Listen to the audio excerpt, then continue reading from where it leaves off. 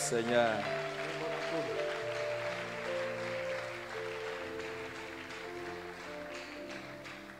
Gloire au Seigneur.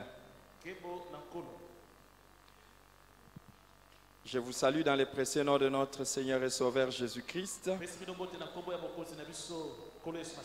Et je vous prie aussi de saluer votre voisin pour moi. nabondeli yopesa ndeko asapele na yo mbote na nkombo na ngai Alléluia.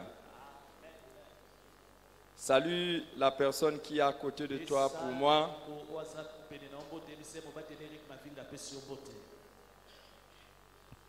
Waouh. Je sais que si vous êtes chrétien, vous connaissez l'importance de la prière. Est-ce que quelqu'un parmi nous ici peut dire, je connais que la prière est importante? Les gens qui réussissent dans la, dans la vie avec Dieu, ce sont les gens qui savent les secrets de la prière. Tout à l'heure, j'étais en train de partager avec vous nali sortes de prières. losambo Vous savez, dans Éphésiens chapitre 6, le verset 18, l'apôtre Paul nous exhorte à faire en tout temps par l'Esprit toutes sortes de prières. Mokanda efesien na mokapo ya zomi na mwambe polo toma polo azotangisa biso tosala losambo na balolenge nyonso Et pour, pour réussir avec Dieu, il faut apprendre à faire toutes sortes de prières. Alors maintenant là, je vais vous partager à- à une autre sorte de prière très importante et très capitale. C'est la prière de vœux. La prière de vœux. Je vais vous demander de- de- d'ouvrir vos Bibles dans les psaumes. Dans les psaumes 10, le verset 17. loyembo mokapo ya zomi molongo ya zomi na sambo Le psalmiste dit, Tu entends le vœu de ceux qui souffrent, ô Éternel. Tu as fermi leur cœur et tu prêtes l'oreille.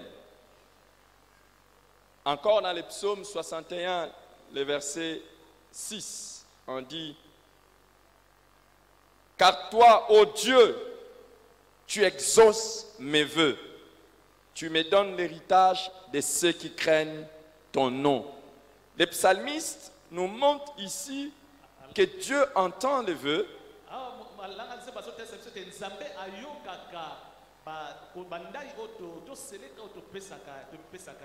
et il exauce les vœux. Nous voyons la pratique du vœu être couramment rapportée dans la Bible. Et dans la Bible, na biblia c'est une pratique qui renforce souvent l'exaucement de nos prières. biso Mais le vœu en soi est également une prière. ndai oyo tozolapa ezali mpe losambo Ça accompagne et renforce la prière, mais en soi aussi c'est une prière. C'est quoi la prière de vœu C'est la sorte de prière dans laquelle on fait une promesse à Dieu. On peut faire une promesse que l'on renforce avec serment pour un acte que l'on est en train d'attendre auprès de Dieu. Alors, le vœu peut être absolu ou ça peut être subordonné au bien que nous sommes en train d'attendre. Quelqu'un peut faire juste un vœu sans attendre que Dieu exauce ou pas, mais aussi il peut dire Seigneur, si tu fais cela, je ferai ceci ou je ferai cela. nzambe Le vœu porte le caractère d'un contrat entre un homme qui prie et Dieu.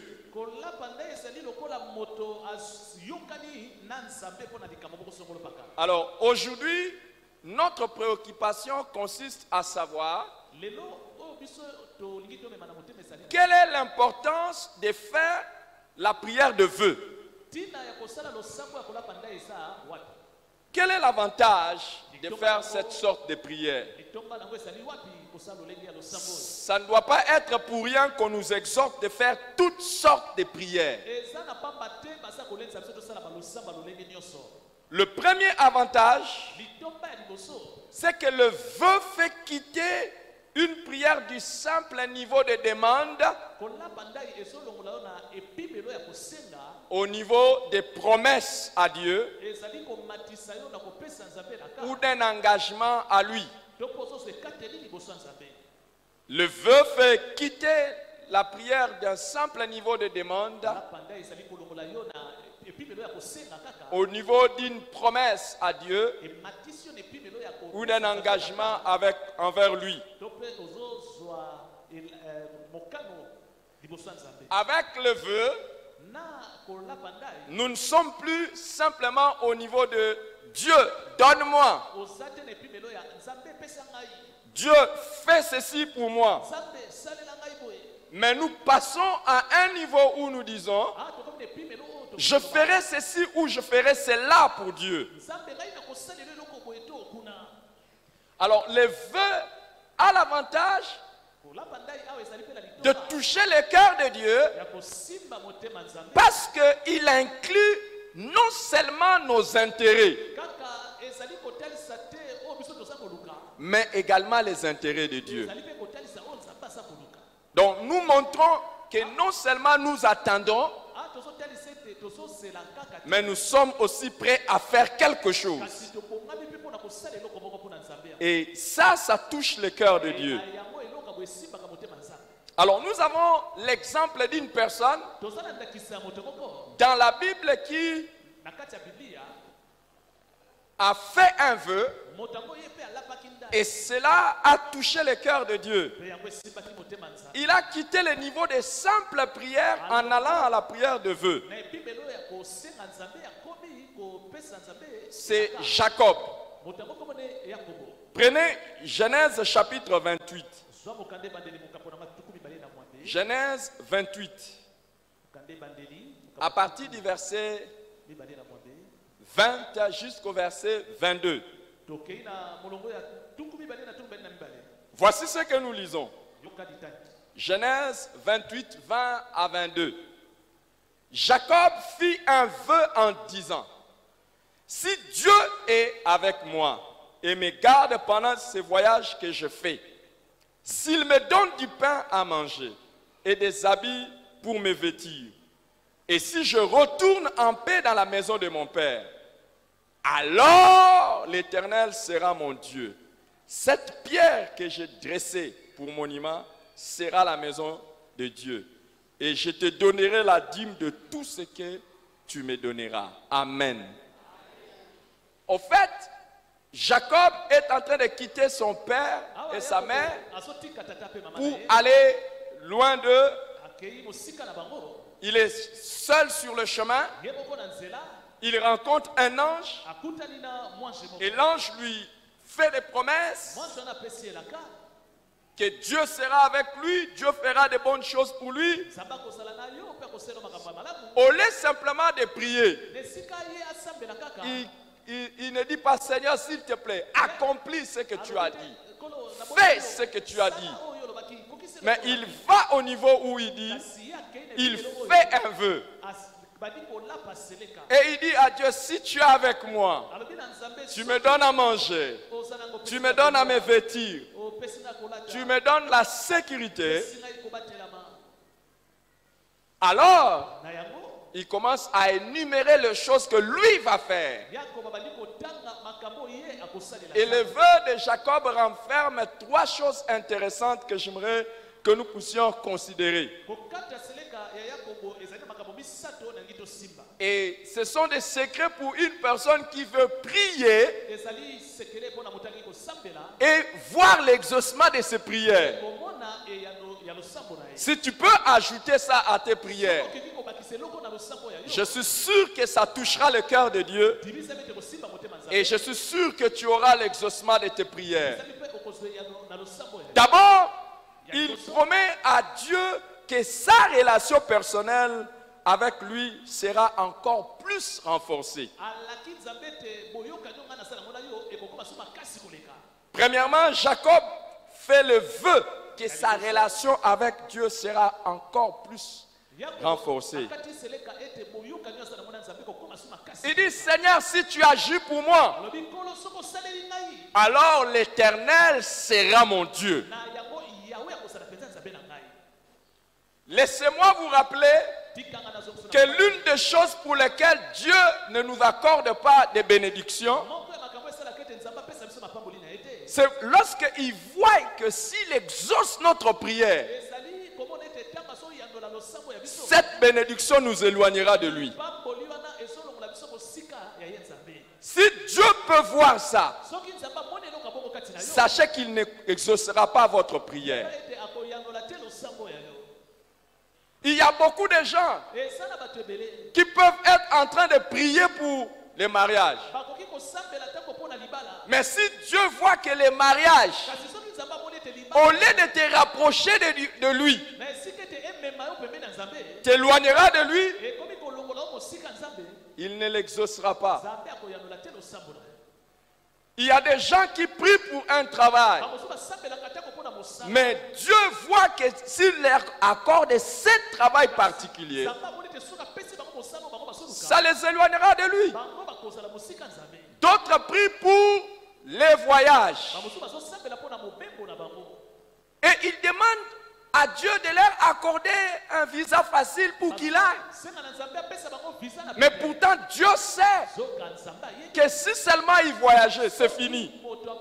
Mais Jacob est en train de promettre à Dieu, si tu accordes ce que tu m'as dit, ce que je te demande, je serai encore plus attaché à toi. ngai nakokangama na yo so makasi koleka Je vois quelqu'un aujourd'hui faire la prière avec cette promesse. que Dieu, au lieu de m'éloigner de toi, ce que, tu me ce que je te demande yo me rapprochera de toi. Je prie qu'aujourd'hui seulement Dieu exauce cette prière. Peu importe ta prière, si l'exaucement t'attachera davantage à Dieu, ekosala ete yokangama lisusu mpenza na nzambe je veux t'accompagner et je vais prier pour toi afin que Dieu t'exauce aujourd'hui. C'est ça l'avantage de faire la prière avec le vœu. Seigneur, si tu me donnes, tu verras comment je serai encore attaché à toi et comment je vais te servir davantage. Et la deuxième des choses que nous voyons Jacob faire comme kosala Au fait, il dormait la nuit sur une pierre. Quand il a eu la vision du ciel. Et quand il fait maintenant son vœu, il promet de participer à la construction de la maison de Dieu.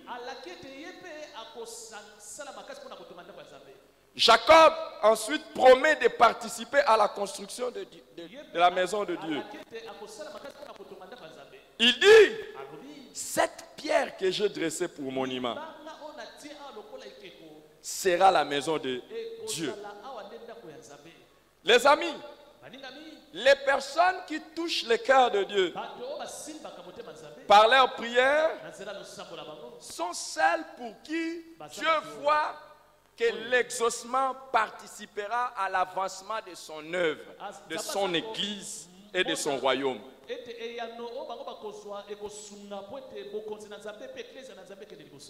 Ils disent, je bâtirai ici, je bâtirai ta maison. yo ya- Et je vais vous dire, plus tard, le temple de Dieu a été bâtu là où Jacob avait eu la vision. Si vous voulez que Dieu écoute vos prières, promettez-lui de contribuer à la construction de son église, dans la construction de sa maison. Écoute-moi, il y a une manière très significative de construire la maison de Dieu.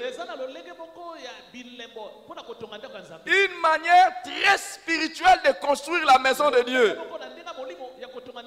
c'est les gagner les âmes. L'église est battue lorsque les âmes sont gagnées à Jésus. Si tu veux que Dieu voie ta prière, promets-lui que Dieu, si tu fais ça pour moi, j'amènerai à toi des âmes. Je gagnerai pour toi des âmes.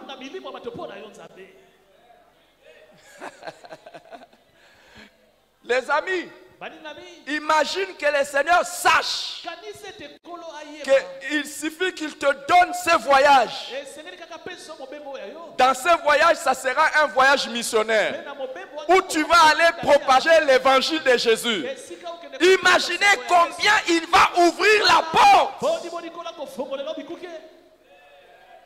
Imagine que tu demandes à Dieu, Seigneur, bénis mes affaires. Je veux aller en Chine pour aller acheter des histoires.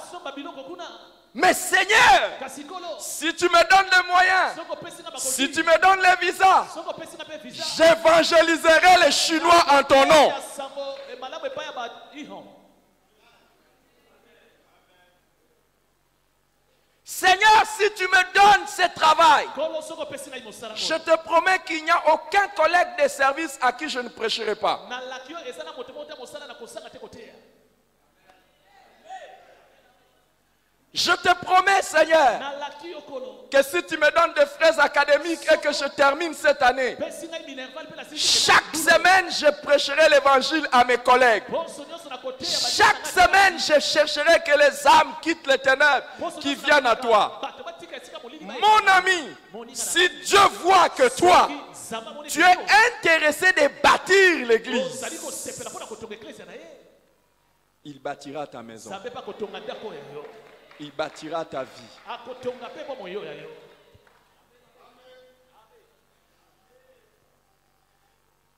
Seigneur, donne-moi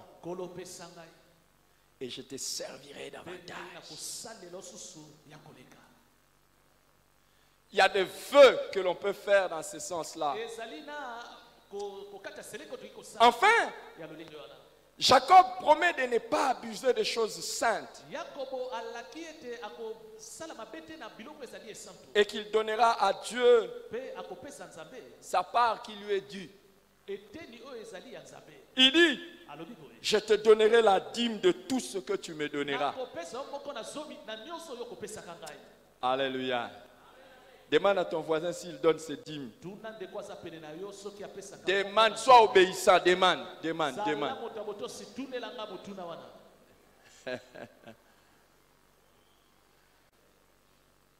Waouh.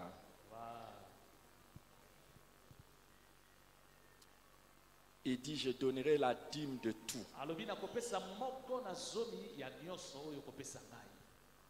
Je ne toucherai pas ta part. Je serai fidèle à mes dîmes. Les amis, l'une des choses qui touchera Dieu lorsque vous voulez demander à Dieu quelque chose, dites-lui, je paierai toutes mes dîmes. nzambe nakofutaka moko na zomi na ngai nyonso Dites-lui, je paierai toutes mes dîmes.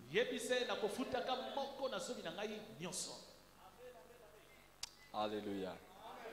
Est-ce que quelqu'un peut faire ses vœux? Alors je vais vous dire, beaucoup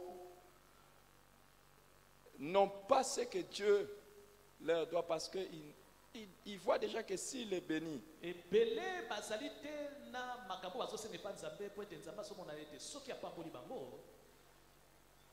ils ne vont jamais penser à lui.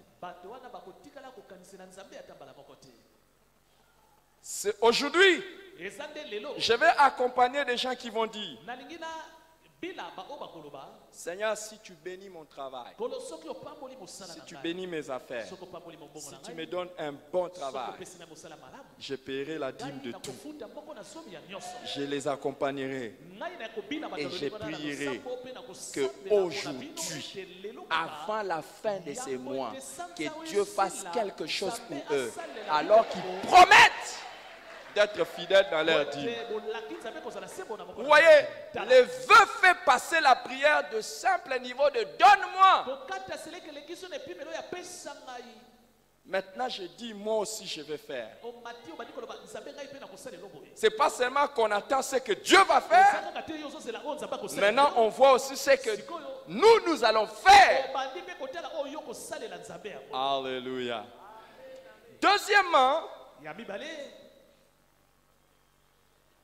le seleka est également le moyen de renforcer la supplication ou d'accompagner une prière express.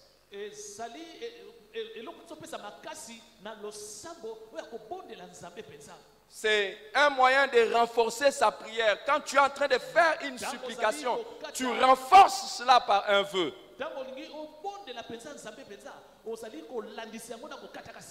Et qu'est-ce que l'on fait Par le vœu, on veut montrer à Dieu ce que lui va gagner en exaucant la prière. Quand tu es en train de supplier Dieu pour quelque chose,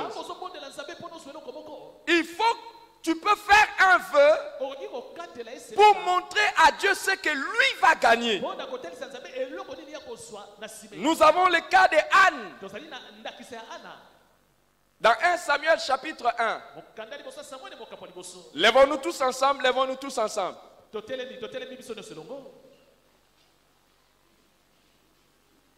Lèvons-nous tous ensemble pour lire 1 Samuel chapitre 1. totelemi 10. elongo totanga mokanda liboso ya samuele mokapo ya liboso molongo ya zomi Lèvons-nous tous ensemble pour lire 1 Samuel chapitre 1, 10 à 12. On y va ensemble. Vous êtes arrivés? Regardez si vous êtes arrivés. Pour certaines personnes, c'est l'unique fois où ils vont lire la Bible toute la semaine.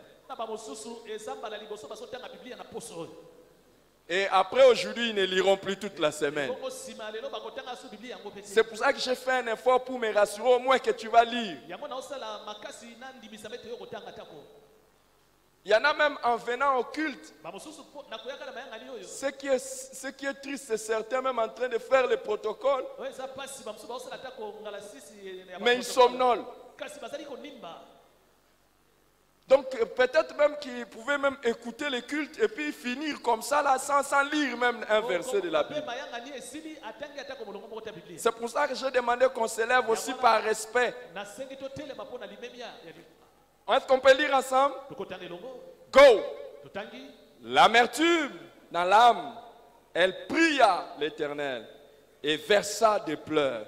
Elle fit un vœu en disant, L'Éternel des armées, si tu daignes regarder l'affliction de ta servante, si tu te souviens de moi et n'oublie point ta servante, et si tu donnes à ta servante un enfant mâle, je le consacrerai à l'Éternel pour tous les jours de sa vie, et le rasoir ne passera point sur sa tête. Amen. Hey! Reprenons nos places. Anne n'avait pas d'enfant. Anne n'avait pas d'enfant. Et elle dit à Dieu que si tu me donnes un fils mâle, je le consacrerai à l'Éternel, je le prêterai à l'Éternel pour tous les jours de sa vie. Et le rasoir ne passera pas sur sa tête. te Les amis, écoutez bien cette histoire. Quelqu'un qui n'a pas d'enfant et qui dit à Dieu, si tu me donnes cet enfant, je vais te le donner. C'est déjà comme pour dire que l'exaucement à ma prière, ngai. ce n'est pas seulement pour moi, mais c'est aussi pour toi, Seigneur. C'est pour ton service. Alors, n'oubliez pas que en ce moment-là de l'histoire, c'est le souverain sacrificateur Élie qui était en charge du sacerdoce. Et ses enfants ne faisaient pas bien devant Dieu.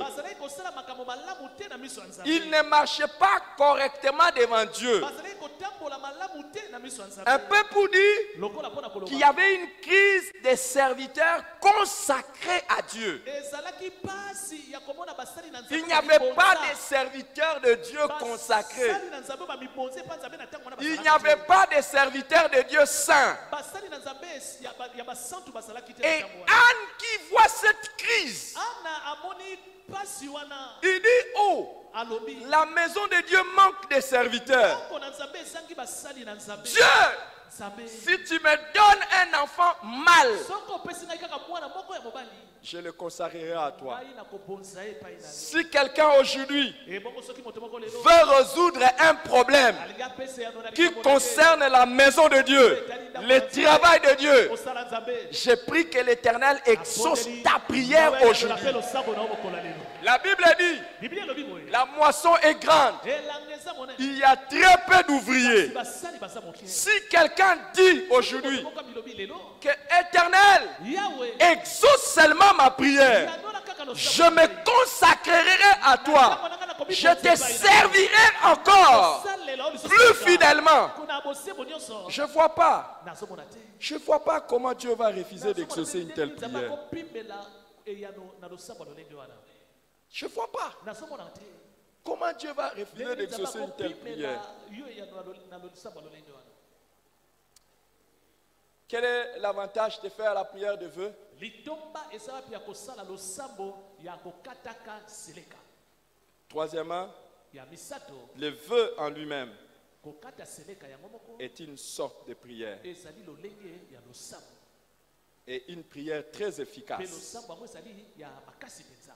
Regardez ce qui est arrivé aux enfants d'Israël quand ils étaient dans le désert. tala oyo ekomelaki bana na israele ntango bazalaki na esobe Nombre chapitre 21. mokanda ya kotanga mokambo ya tuku mibale na moko Nombre 21, 1 à 3. molongo nango ya liboso kino na oyo ya misato Pendant que les enfants d'Israël traversaient le désert, voici ce que nous lisons. Le roi d'Arad, cananéen qui habitait le Midi, apprit qu'Israël venait par le chemin d'Atarim. Il combattit Israël et amena des prisonniers. Alors Israël fit un vœu à l'Éternel et dit, si tu livres ce peuple entre mes mains, je dévouerai ces villes par interdit. L'Éternel entendit la voix d'Israël et livra les Cananéens. On les dévoua par interdit, eux et leurs villes, et on les amena, et l'on nomma ces lieux Orma. Amen. Pendant un combat, Israël est en train de partir vers sa terre promise. Et ce roi d'Arad, oyo arade des Cananéens, vient combattre Israël. Is- israele et il commence déjà à faire des prisonniers. C'est-à-dire Israël était en train d'être vaincu. E Là, ils sursautent, ils disent Waouh Si ça continue comme ça, nous risquons de périr. Ils firent un vœu à l'éternel. Il dit Seigneur, si tu me donnes la victoire, je dévouerai ces villes à l'interdit. Quand on dit dévouer les villes par interdit, on va massacrer tout ce qui est là-bas et toutes les richesses. Nous allons te les donner à toi. Et Dieu entendit cela. L'Éternel entendit la voix d'Israël et livra les Cananéens. ton vœu peut changer le cours de combat de ta vie. Il y a des combats que tu traverses dans la vie. bomoi Un vœu peut briser les choses que les ennemis pensent. Et je vois aujourd'hui nazomona tes défaites se tourner en victoire pendant que tu seras en train de prendre des vœux devant le Seigneur. Alléluia. Et nous avons lu cela. David a dit, tu entends, le psalmiste a dit, tu entends le vœu de ceux qui souffrent. Tu prêtes l'oreille, tu as fermé leur cœur, tu prêtes l'oreille. Alors, ayant vu cette importance des vœux, j'aimerais dire quelque chose. Dieu exauce un vœu qui est en accord avec sa volonté. Il faut que le vœu traduise la volonté de Dieu. Et il faut que nous puissions le faire dans l'amour, dans la sincérité et en cherchant la gloire de Dieu. Dieu ne trouve pas sa part dans des vœux charnels.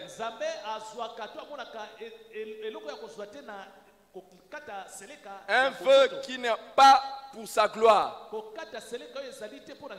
ne va pas lui plaire. Un autre avertissement est que si Dieu approuve le vœu d'une personne, il faut que cette personne se hâte d'accomplir cela lors de l'exaucement. Dans le psaume 56, na loyembo mokambo ya tuku mitano na moto prenez votre Bible dans le psaume 56. fongola biblia na yo na mokanda ya loyembo mokambo ya Je voudrais que nous puissions lire quelque chose de très intéressant en ce qui concerne le vœu. Il dit, oh Dieu, je dois accomplir le vœu que je t'ai fait. Je t'offrirai des actions de grâce, car tu as délivré mon âme de la mort. Tu as garanti mes pieds de la chute, afin que je marche devant Dieu à la lumière des vivants. David dit, je dois david accomplir le vœu que je t'ai fait. Quand Dieu exauce nos prières, hâtons-nous de faire, d'accomplir notre vœu. Et l'accomplissement d'un vœu. Incite Dieu à nous exaucer encore prochainement. Quand tu as fait un vœu à Dieu, le jour où tu accomplis cela, Dieu va encore agir plus pour toi. Dans le psaume 50, ça c'est parmi les passages que j'aime dans la Bible. Dans le psaume 50, à partir du verset 14, na molongo nango ya zomi na minei il est écrit Offre pour sacrifice à Dieu des actions de grâce et accomplis tes vœux envers le Très-Haut. Commence d'abord par offrir à Dieu des sacrifices d'action de grâce. Et accomplis tes vœux envers le Très-Haut. Invoque-moi au jour de la détresse. Je te délivrerai et tu me glorifieras. Les amis, chaque fois que tu exauces, tu, tu accomplis ton vœu, tu es qualifié pour faire entrer encore une autre requête à Dieu. Chaque fois que tu vas accomplir ton vœu, invoque davantage le Seigneur. Il te délivrera et tu le glorifieras. L'un des secrets donc du succès dans la prière est de l'accompagner d'un vœu. Mais attention, selon Ecclésiaste chapitre 5, kolandisama mokanda ecclésiaste mokambo ya 4 mitano à 5, molongwa minei si tu fais un vœu, et que tu ne l'accomplis pas, yango tu cours les dangers d'être châtié par Dieu. Likama ya kozwa etumbu epai na nzambe ekolanda yo. Ecclésiaste chapitre 5, ecclésiaste mokambo ya mitano 4 à 5. molongo ya minei Écrivez aussi Nombre chapitre 30, koma mpe mokanda kotanga mokambo ya tuku misato? Verset 2. molongo nango ya mibale. Proverbe chapitre 20. Proverbe chapitre 20, koma mpe mokanda ya proverbe? Le verset 25. Quand Anne avait fait la promesse, il dit, Seigneur, si tu exauces, je te donnerai ce fils. Exactement, Dieu l'a fait. Anne est venue retourner, donner l'enfant. Que nous dit la Bible? Dieu lui a donné cinq autres enfants. Le jour où tu accomplis ton vœu, Dieu va te donner encore plus. Et. Dieu va encore faire plus pour toi. Ce matin, j'aimerais prier avec certaines personnes ici.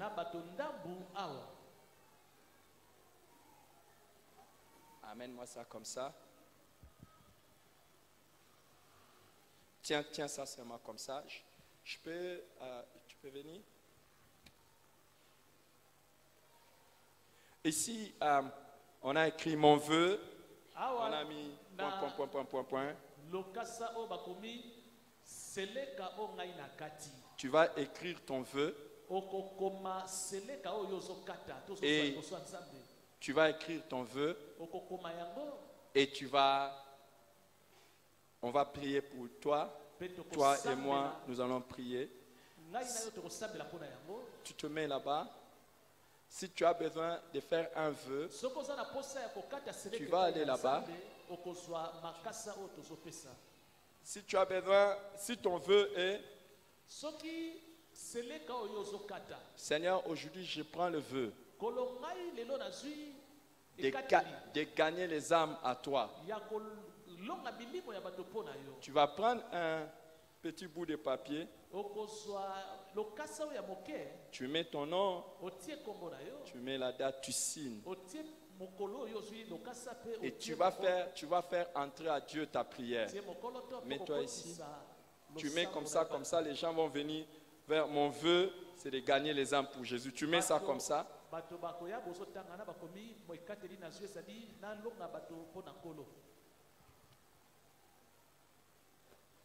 Ici, quelqu'un va dire, mon vœu, servir Dieu avec plus de consécration et de fidélité.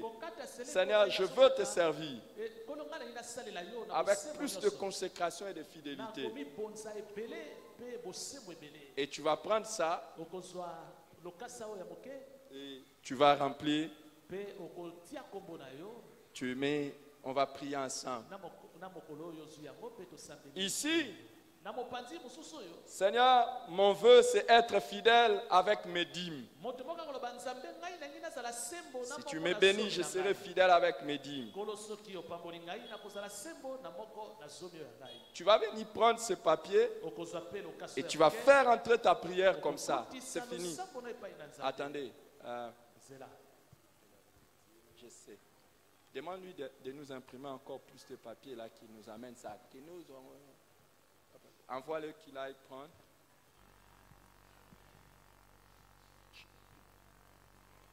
Yannick, venez. Tu prends quelques papiers chez Papa Ado. Chez Papa Ado, prends quelques papiers. Papa, si tu venais.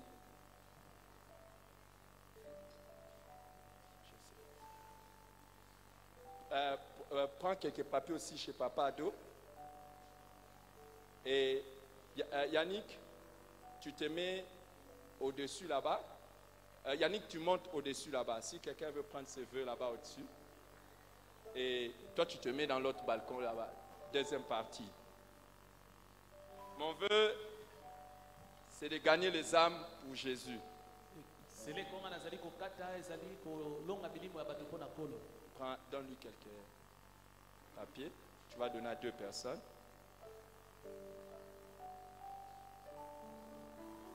C'est-à-dire que tu montes au-dessus là-bas. Toi, tu, tu vas là-bas. Et ouais, restez là-bas dans la deuxième partie. Mon vœu, c'est être fidèle Avec mes dîmes.